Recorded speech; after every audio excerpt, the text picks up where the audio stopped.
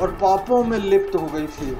और उसी के लिए परमेश्वर ने अपने इकलौते पुत्र को भेजा, यीशु मसीह को, और वो हमारे गुनाहों को लेकर सली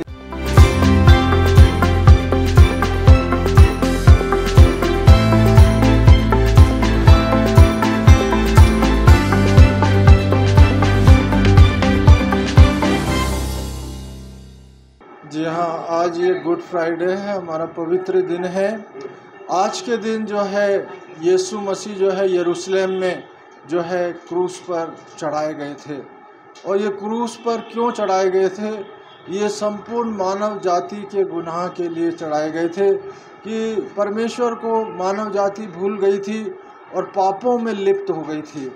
और उसी के लिए परमेश्वर ने अपने इकलौते पुत्र को भेजा, यीशु मसीह को, और वो हमारे गुनाहों को लेकर सलीब पर चढ़ गया। और जो भविष्यवाणियाँ की गई थी, वो पूरी हो गई।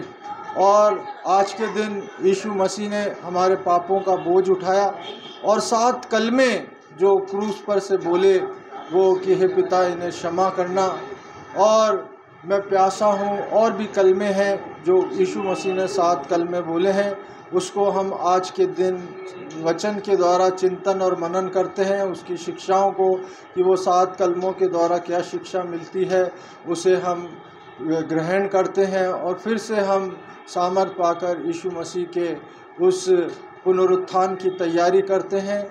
इसलिए आज का जो दिन है, यीशु मसीह के बलिदान का दिन है, परमेश्वर के पुत्र के बलिदान का दिन है। इसलिए आज हम बड़ी श्रद्धा के साथ अपने पापों से पश्चाताप करते हुए उसके सम्मुख आते हैं।